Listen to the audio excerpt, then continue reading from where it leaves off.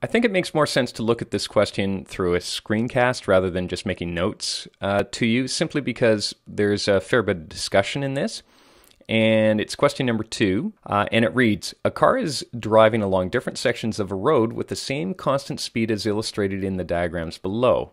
Consider those curved surfaces A and C are a section of a circle, and the diameters for each curve are the same. So when we look at A and C, we're assuming the same diameter, or in other words, the same radius. Discuss which car is exerting the most and which car is exerting the least force on the surface of the road with the support of some algebraic relationships.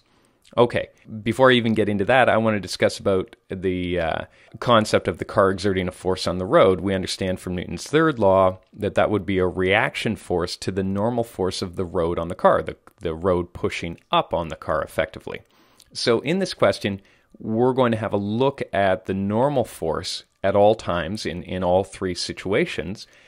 The normal force of the road on the car will tell us exactly the value of the force of the car on the road. And in fact, we're not even after the value, we're just trying to establish which one is the highest and which one is the lowest. Okay, before we get started, I want to highlight a couple of things about circular motion that I think we have to pay attention to at all times when we're having this discussion. So, our key points to remember go as follows. We have to recognize that because velocity is a vector quantity, acceleration, which is the rate of change of velocity, will occur when there is a change in the magnitude or the direction of the velocity. So, maintaining a constant speed through a turn still represents an acceleration because of the change in direction. You would know this when you're a passenger in a car, you go around a turn, you feel the pushing of the side of the car. You feel pressure on your side, uh, on the side opposite to the direction that you're turning. You can feel that pressure um, pushing you around the turn, essentially steering you away from your path, which is straight ahead, which inertia wants you to continue with, um, into a curved path. And so there is definitely a change in direction, and you can feel it. You can feel that acceleration, and we call that centripetal acceleration. Now, what we need to know about centripetal acceleration is naturally it has to be the result of a force, what we would call centripetal force, simply because accelerations are always the evidence of a net force. In the case of centripetal force, it's always directed toward the center of the circle or the curved path that you're traveling around, always directed towards the center. And that's very important to us in our analysis of these three roads. And finally, I think this one is most important. Centripetal force is the net force acting on an object traveling in a circular path at a constant velocity. It's not like it's a force that exists on its own. It's the vector sum of all the forces acting at once.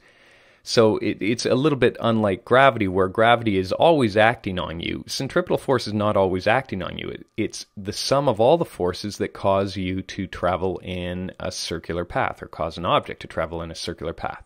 Okay, with those things in mind, let's take a look at the three situations that we're talking about. And we're after that normal force. Remember, the normal force of the road will give us the reaction force of the vehicle. Okay, so here we go. Here are the three situations. Now I'm actually going to do these a little bit out of order. I'm going to do the two curved paths first and finish with the last straight level path. Okay, in our first uh, situation, I'm dealing with the car going over top of the hill, going over the top of a crest. In this situation, I've got three forces indicated on my diagram. I've got my gravita- gravitational force pulling down on the vehicle. That never changes. That's the same in all three of our situations. I've got the normal force of the road pushing up on the vehicle. That will change. And I've got a centripetal force, and we have to remind ourselves that that centripetal force is the net force. And so those three forces are represented in my free body diagram. When I write my vector equation, I say, I say that the centripetal force is equal to the sum of the normal force and the gravitational force. Now, as a convention, a very common thing to do in physics, we're going to assign the direction up as positive. That will allow me to drop the vector symbols on top of all the forces and assign negatives and positives according to the direction they're pointing. So I would write negative Fc equals Fn minus fg. Now remember, I'm after that fn, so I rearrange that equation and I have negative fc plus fg equals fn. Now the vector equivalent of that would be the magnitude of vector Fn, or the magnitude of the normal force, is equivalent to the magnitude of the gravitational force subtract the magnitude of the centripetal force. Or in other words, the magnitude of the normal force is simply the difference in the magnitudes of the force of gravity and the centripetal force. Now that's going to be really important in the next part because our gravitational force and our centripetal force do not change in magnitude anyway from the top of the hill and bottom of the valley situation. In a nutshell, I'm essentially saying that the magnitude of the reaction force of the car on the road is also simply the difference between Fg and Fc. Okay, moving on. The second scenario, at the bottom of the valley, the only difference in terms of the forces and how they're directed is that the centripetal force is directed up. As I wrote in my previous solution, I said that the centripetal force is always directed towards the center of the radius of curvature or towards the center of the circle. So in this situation, Fc is now pointed upward.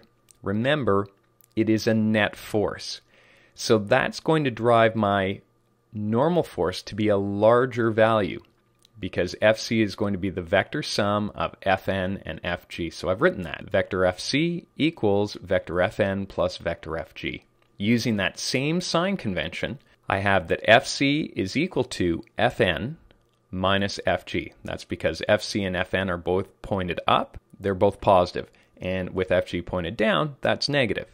So now we have, when we rearrange that equation, Fn is equivalent to Fc plus Fg, or Fc plus Fg is equal to Fn.